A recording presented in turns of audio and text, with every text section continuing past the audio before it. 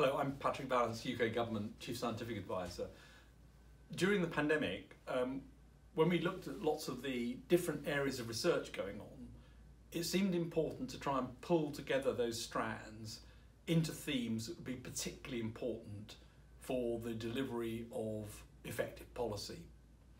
And that was the basis of the national core studies, of which six different strands were set up epidemiology and surveillance, transmission and environment, clinical trials infrastructure, immunity,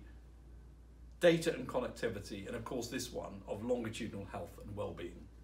And I want to thank you for what you've done because the longitudinal health and well-being national core studies has brought together a range of people from different disciplines to tackle crucial problems. And already we can see that the UK is in a very strong position in terms of data, in terms of the data applied to these questions of health and well-being. From Open Safely through to the TREs of the uh, NHS digital program and the BHF uh, um, uh, program on this area through to longitudinal linkage collaboration. These are really critical underpinning tools that allow this to occur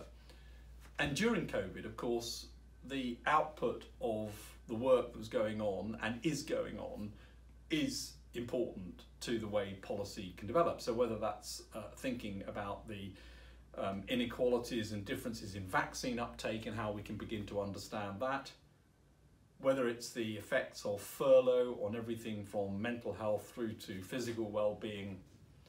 whether it's the impact of inequalities in the way health is utilised and indeed so how access to health uh, systems are utilised and, uh, and actually bring benefit. These are crucial questions which the access to data and the ability to use longitudinal data collections coupled with current data systems and indeed data beyond the health system to things like mobility, to uh, patterns of movement, uh, to environmental conditions become very, very important to understand and inform policy choices that might face government. So a thank you from me because this has brought together, I think, a brilliant group of people working together in a way that looks really encouraging for answering these big questions and informing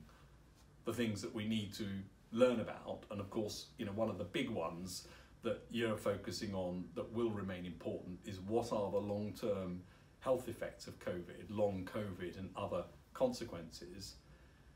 but also training the people, the new generation of skilled individuals who've come up in this multidisciplinary environment who will think differently